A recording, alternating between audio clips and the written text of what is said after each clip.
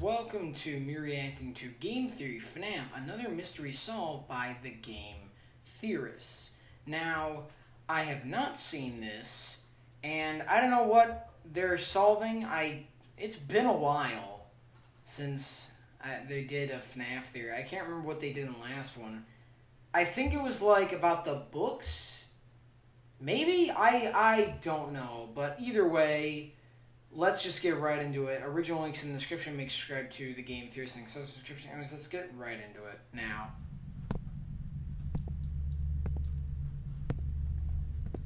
So I forgot. I, ju- I just forgot what they did in the last one. I think it was about the books. It was about the Stitch Wraith, right? And how Henry created it. I think I think I remember that because of my reaction. You can be a pirate, but first you'll have to lose an eye and an arm. You can be a pirate. To lose an eye and an arm. First, to lose an eye and an arm. Lose an eye. Lose an eye. Lose an eye. Oh. Lose an eye.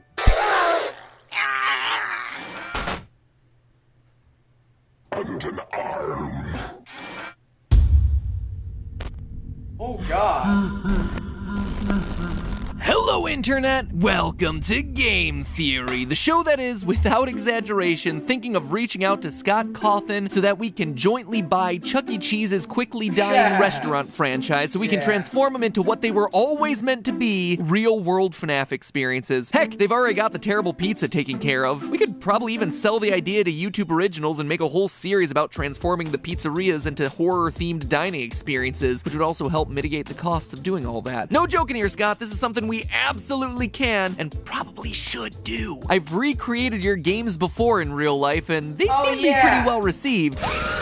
So between my theater background and your, Oh, yeah. well, you know, your gobs of money and masterminding of the IP, I think we can make something that's really cool. And yeah, the reason I'm bringing it up here is so fans can start talking about the idea both here and on Reddit to show you how excited they are for this to happen. Anyway, let me just leave it at you have my email. I eagerly await your response. Who Oh, knows, God. you've probably already bought Why it at this point. You're just waiting to reveal that fact to the world. Speaking of Chuck E. Cheese restaurants, the grandpappy of FNAF, I actually have a theory in the works about those pizzerias that any FNAF fan will enjoy. The episode will be oh! going Oh. live in the next few weeks on my Food newest Theory, theory, channel, Food Theory, Yeah, which, if you haven't checked out yet, you totally channel, should. and Link is down in the description. made. Yes, it Of sounds like a joke. No, it's Yeah. not. We've not Of only got episodes about Chuck E. Cheese on the way, but also horror I episodes like how the ghost of Theory. KFC's Colonel Sanders has been got a bunch of cursing people for for what I said, decades. Yes, it is it know, is I a real thing that we are currently researching. It's the same science, math, and over research that we do people over here, except, you know, on real life topics. And for anyone who's hesitant to check out a channel about food, we're already winning people over. Like Jack here over on Twitter, who said he started out skeptical, but watched the episodes and immediately Oh got the concept. We've got over half a million subscribers in the first 24 hours, and we're getting really, really close to that million in these first two weeks. So please, please, please help us reach that milestone in record time. Show the world how passionate we theorists are by shattering that subscriber record. And hey, FNAF even move already has made an appearance on the show. theory. It's in every single intro of Food Theory. So subscribe to Food Theory today to get your daily Wow. dose of brain food. In a sucky, know. sucky, no good, awful year, seeing so many people excited about this new channel has really helped us all out. So thank you guys for your support. Thank you for your subscription, and I can't wait to Alright. deliver you more. It's been a lot of work, but it's really fun. All right, a new month, There a new you go. FNAF book, a new set of So, lore yeah, it was a new Earlier book. this month, the Alright. latest Fazbear Fright book, Step Closer, hit store shelves, and even though it has a super forgettable name, the stories inside of it are epic. Not just Oh, because they're some of the most gruesome in the series. I mean, page one literally starts with a dream sequence where a kid's eye gets popped by Foxy's hook. But because Oh. of the lore drops that are happening in this thing, they are huge. Up until this point, the Fazbear Oh. Frights books have given us interesting concepts to chew on, fleshing out the world of FNAF and giving us new insights into events that we already had a pretty good handle on. It's been useful, certainly, but nothing too earth shattering. Animatronics can have people stuffed inside of them. Confirmed outright in Book 1. People can have Yeah. animatronics stuffed inside of them. Confirmed in Book 3. Everything is powered by human agony. The missing children's incident probably happened in 1985. Animatronics can steal identities. Humans can be body swapped with animatronics. Golden Freddy might have multiple souls trapped inside of him. Oh, Ghosts yeah. might be able to escape from their animatronic prisons to lure more people to them. Like, there has been a lot There- across there all of these lot, stories, yeah. hence why I've been covering these books so much. But Step Closer's lore cool. drops are attacking some of the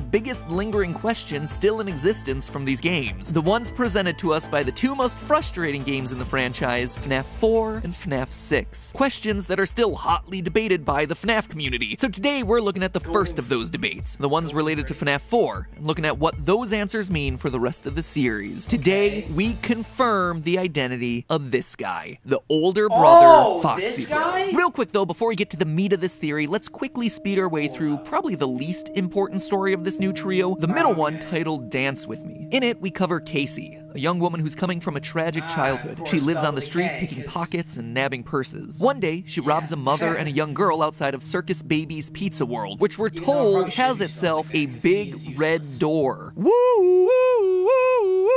Potentially important detail alert. Anyway, one of the Oh. items that she nabs is a set of cardboard glasses. Oh, When Casey puts them on, she sees a hologram of Ballora spinning in the distance. Weirded out by this, she has other people try the glasses on and no one else manages to see Ballora. From that point onward, each time she puts on the glasses, the hologram gets closer and closer, which begins to Oh, freak her out to the point of her leaving town and trying to put her life back together in hopes that it gets Ballora to leave her alone. A couple cities and failed jobs later, Casey eventually decides to return the stolen items to the mother and the daughter, hoping that it'll make amends. glasses. The family welcomes her in and forgives her, but when the little girl Isabella puts the glasses on, she not only sees Ballora, but she immediately begins dancing. It's a very vague ending because it's unclear whether Ballora, who was one step away from getting Casey, instead nabs the girl because she's the one who puts the glasses on next, and the dancing is the girl becoming possessed, or if it's the girl just excited to be dancing alongside one of her favorite Yeah, characters, what? Ballora. Anyway, there's not a whole lot to talk about with this one. The technology is super strange. Freddy's is apparently advanced enough to have holographics that work in cheap cardboard glasses for kids. That would be strange enough, but there's also some extra weirdness that the holograms can interact with the physical world. We see throughout the story Yeah, that this like Ballora hologram kicks up leaves and causes them to swirl around her. To quote from the story, there was Ballora, pirouetting So among the colorful is like fall leaves. As she spun, the bright leaves were sucked into her vortex. For a few seconds, Casey admired the beauty, but then she thought, wait, if Ballora is just a picture, a hologram, then how is she affecting the objects around her? It didn't make sense. Well, Welcome to the world of being a FNAF theorist, Casey. It didn't make sense. Prepare to get that one tattooed on your forehead. But in all seriousness, it does raise a big question. Is she actually a hologram or just invisible and the glasses are somehow revealing her? It's unclear. Today I'm going to be talking a lot about those weird little details that just seem so oddly specific for a book to call out that it feels like the book is trying to tell us something. And this seems like one of them, but while I could spend a lot of time trying to figure it out, to my knowledge, holographic or invisible animatronics haven't really been a thing yet in the franchise, Yeah. so we'll just have to cross that bridge when it becomes important. Unless, oh damn it, it might be a phantom animatronic. No, no, they don't interact with the real world, do they? Last point to be made about this story, Oh, though, is its recurring theme of mothers and motherhood. A A lot of the backstory that we get on Casey is her troubled relationship with her mom, which has played a big part in how her life ended up the way it did. Casey, throughout the story, is also visited by an older woman at a bus station that gives her grandmotherly advice. She's saved from the police by another elderly woman. She makes amends with that mother and daughter that have a relationship that she envies. I mean, it could be me thinking too much about this, big surprise, but it doesn't feel like a coincidence that Ballora is the main animatronic featured in a story about motherly relationships. I had a theory a long time ago, two years ago, that Ballora was some sort of stand in for Mrs. Afton. Not in any sort of creepy way, get your mind out of the gutters. I mean, that she Oh. represents the wife that William Afton lost, or divorced him, or most likely that he abandoned in the aftermath of his daughter getting clawed to death by Baby. I mean, just Oh. look at the song that Ballora sings in Sister Location. Why do you hide inside your wall when there is music in my hall? All I see is an empty Is this backwards room. speech? No more joy, an empty tomb.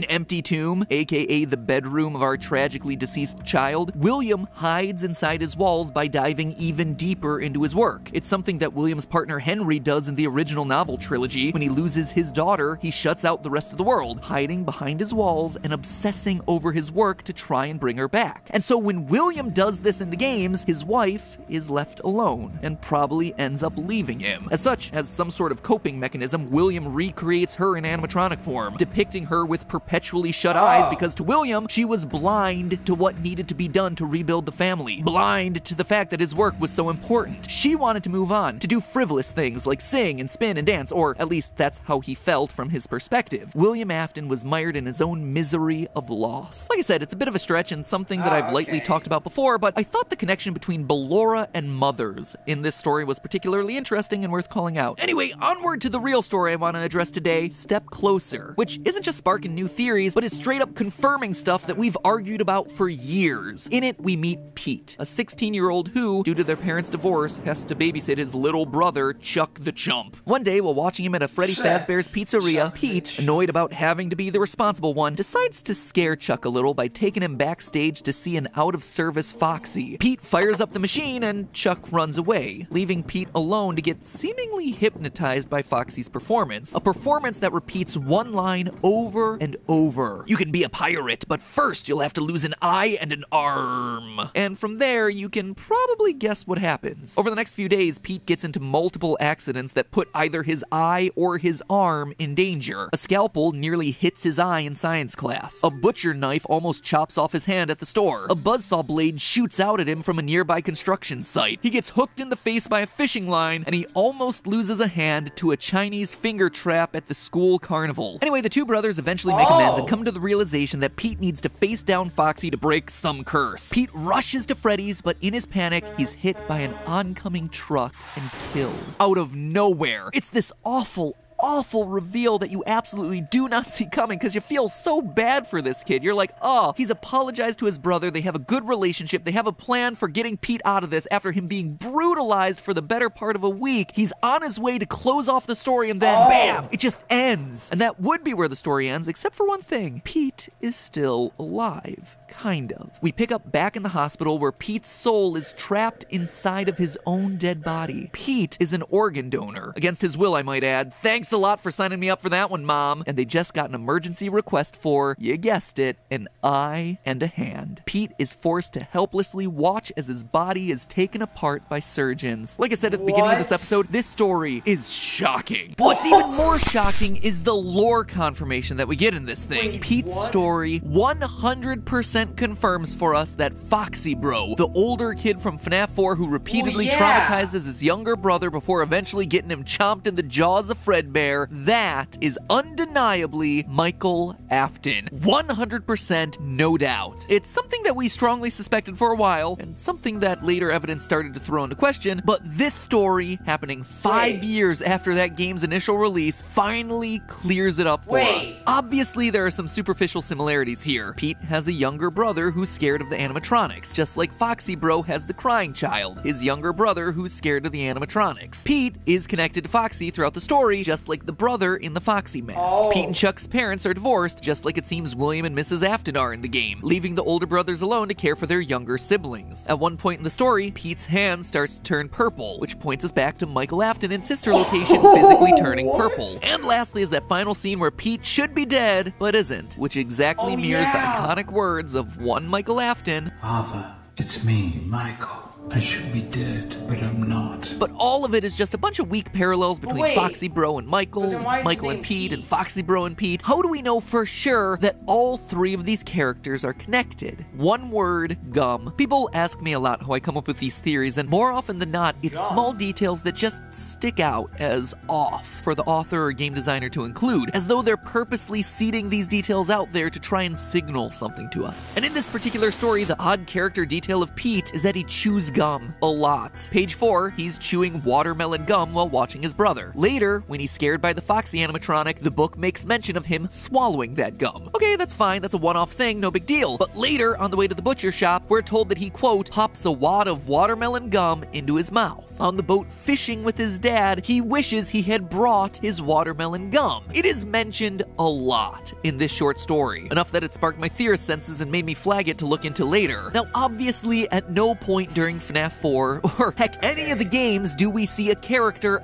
actively chewing gum. That'd be silly, but that's not the only place that we see these characters at this point. Let me direct your attention back to the FNAF Survival Logbook. Who Oh, knew what? that a book with dabbing Chica Oh, as an yeah. active selling feature would become the single most important item for lore solving of Oh this franchise? For those of you who don't remember this little gem, it's the logbook, originally owned by Mike, as we see on the title page, that helped us to solve for Cassidy's name. And wouldn't you know it, but today it's also the thing that's gonna now reveal to us Michael Afton's true identity. Page 49, quote, list 10 bad habits you'd like to break. Number one, chewing gum excessively. I mean, there it is, plain as day. Pete chews gum Oh, excessively. what? Michael Afton chews gum excessively. Pete eventually turns purple and comes back to life after being dead. Michael Afton eventually turns purple and comes to life after being dead. Pete is an older brother who scares his younger sibling Yeah, using what? Foxy. Foxy Bro in FNAF 4 is an older brother who scares his younger sibling with Foxy. Pete equals Michael, and Michael equals FNAF 4's Foxy Bro. Done, confirmed, another character identity locked. This detail has been sitting in the logbook for years, just waiting to be used. Kind of impressive. Wow. Well done there, Scott. Well done. And this confirmation tells us everything we need to know about Michael's motivation for the rest of the game series. He's avenging his brother's death, the one that he made happen. When Golden Freddy appearances are accompanied by the words, It's me, it is literally the younger brother saying, It's me. I'm here to his older brother. But of course, of ah. course, of course, it is never that easy. This same security logbook, this thing that has been so pivotal to solving so many mysteries of this franchise, raises just as many challenges. Because sure, here it just confirmed the Foxy Bro connection, but then it also has lines like these. Page 103, the party was for you. Page 75, does he still talk to you? In reference to psychic friend Fredbear. Page 23, was your favorite childhood toy a plastic purple telephone? Page 20, what do you remember?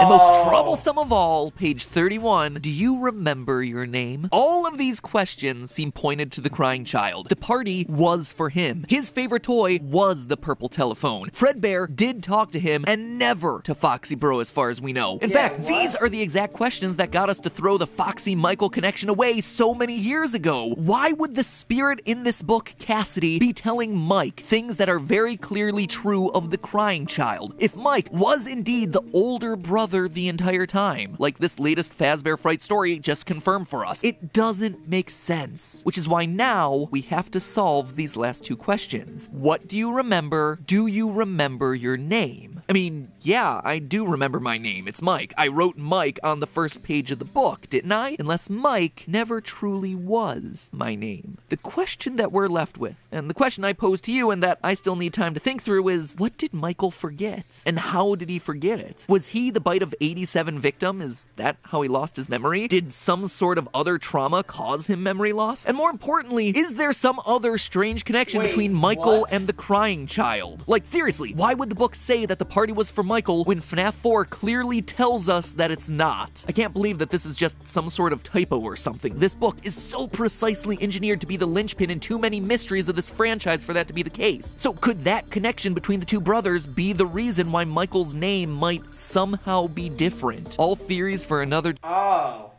okay. So I guess that's it. So yeah, honestly, this was good. I enjoyed it. I mean, yeah, the theories were good. I I enjoyed it, and yeah, honestly, yeah, I went, the editing was good. I I really enjoyed it. The theory, it kept me interested, and yeah, I was not expecting that at the end. Honestly, it was, yeah, it was really insane. Uh, is there a third story? I thought don't they all have three stories unless there's only two in this one. But uh, yeah. Anyways, guys, have enjoyed. Leave a like and video, subscribe to my channel. See you in the next one. Bye.